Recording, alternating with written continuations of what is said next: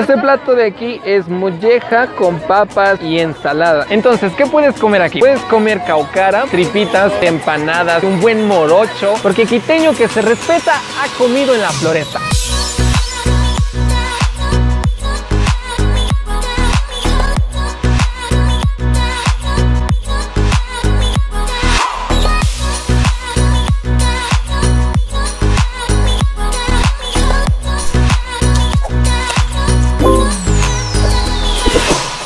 ¿Qué tal señores y señoritas? Mi nombre es José Andrés, para los que no me conocen, nos encontramos en el sector La Floresta, el sitio más gastronómico quiteño que puedes encontrar comida de todo tipo, de todo paladar, a la hora que quieras y donde quieras. Atienden más o menos hasta las 11 de la noche. Te voy a presentar un poco de historia y también voy a ver si puedo entrevistar a alguno de los dueños de cada localcito, qué fechas son las más pegadas, qué tan rentables del negocio que ellos tienen y entre otras cosas más interesantes. Así que pues, como siempre, espero que te guste, que te divierta, que te entretenga este cuerpo sabroso. Una nota de esto es que un suscriptor me recomendó venir a este lugar. Sí he venido, esta sería la tercera ocasión en la que vengo, pero no la he grabado, así que hoy tenemos la dicha de poder grabar, de poder documentar y mostrarles a lo bonito que es Quito.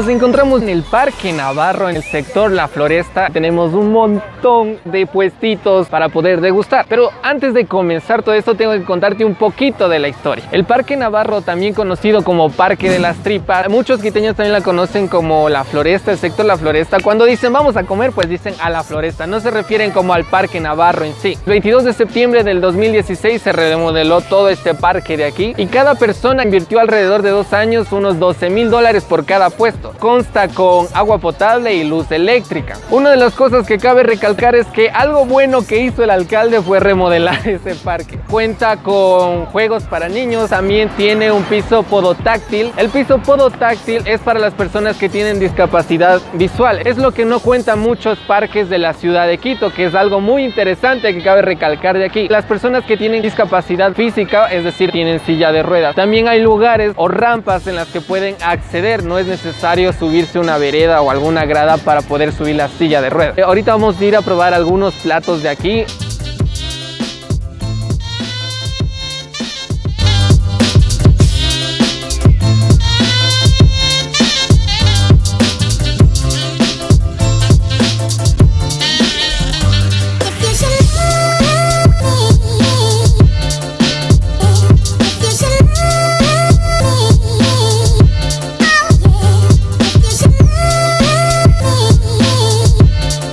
Buenas noches, ¿cuál es su nombre completo?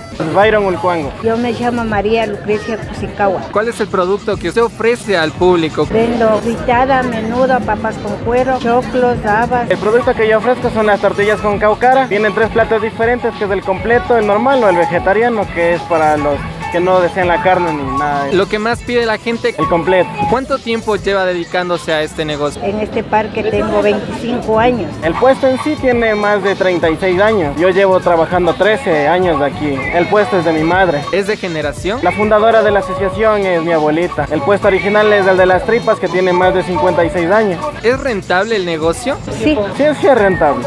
¿Usted tiene otro oficio aparte de este? Eh, estudio eh, ingeniería en sistemas. ¿Tiene ayuda en las noches? No, sí tengo ayuda en las noches. Me ayuda un compañero así mismo, cercano a la familia. ¿Qué fechas son las más movidas aquí? Los días viernes, sábado. Las quincenas, fines de mes y también los fines de semana. ¿Hasta qué hora usualmente se quedan ustedes a atender? Hasta las 11 de la noche. A veces 11, 11 y media de la noche. ¿Ha habido problemas a veces por delincuencia? No, porque todos de aquí nos damos una mano en la comunidad, la policía siempre está eh, pendiente de nosotros, siempre nos damos una mano mutuamente. ¿Alguna mejora antes de la remodelación del parque? Claro, la remodelación nos sirvió bastante. Estábamos perdiendo gente porque no había o sea, espacios limpios, todo era antihigiénico, no teníamos así como ahora ve agua potable. La gente que se estaba yendo regrese. Muy amable, muchísimas gracias. Algo que no les comenté hace rato es que aparte de que tienes los localcitos para degustar la comida que quieras, que ya les voy a explicar que no más hay, también tienes mesitas donde puedes comer tranquilamente. En la parte de atrás también tienes asientos, pero nosotros vamos a comer para. Entonces, ¿qué puedes comer aquí? Puedes comer caucara, tripitas, empanadas y un buen morocho. Alrededor más o menos de unos 14 negocios que tienen diferentes estilos, pero hay uno, hay uno en especial que se destaca por vender caucaras. Como ya le escucharon hace rato, hay una que es vegetariana y la mayoría de la gente pide completa y como buen quiteño yo también me pedí una completa. Pero aquí viene el tip. Gracias a que le entrevisté al joven, me la obsequió, o sea, me la regaló. Ahora sí, vamos hacia los platos. Este plato de aquí es molleja con papas y ensalada. El precio del plato fue de 2.50. Ahora les quiero mostrar la caucara. El precio del plato fue de 3 dólares y consta de tortilla de papa, ensalada de aguacate, carne de res, salchicha, huevo y no puede faltar la ensalada de remolacha. Ok, entonces ya les mostré más o menos de qué consta cada plato. Ahora vamos a degustar la caucara, la carne y la salchicha.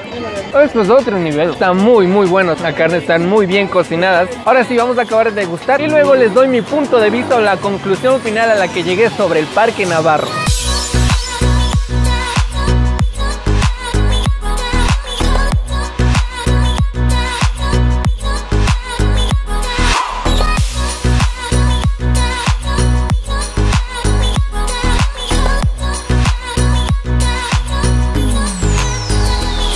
Hay algo que no les comenté y es que los restaurantes que están alrededor del Parque Navarro por lo general pasan vacíos la mayoría de veces. De gente que viene a comer se centra mucho, mucho en el parque. Los restaurantes son muy pocas la gente que va a comer o a degustar algún alimento. Si vienes a la floresta como recomendación personal, ven a comerte una caucar. Es el primer local, el más o menos con un presupuesto de unos 10 dólares puedes venir a comer tranquilo. Los precios a lo máximo llegan creo que a 3.50, pero ese creo que es el tope del precio más alto y el resto de platitos que son buenos cuesta como 2.50 o un dólar y así sigue bajando. Entonces, si quieres comer bien, pues te recomiendo que vengas a este lugar, porque quiteño que se respeta ha comido en la floresta.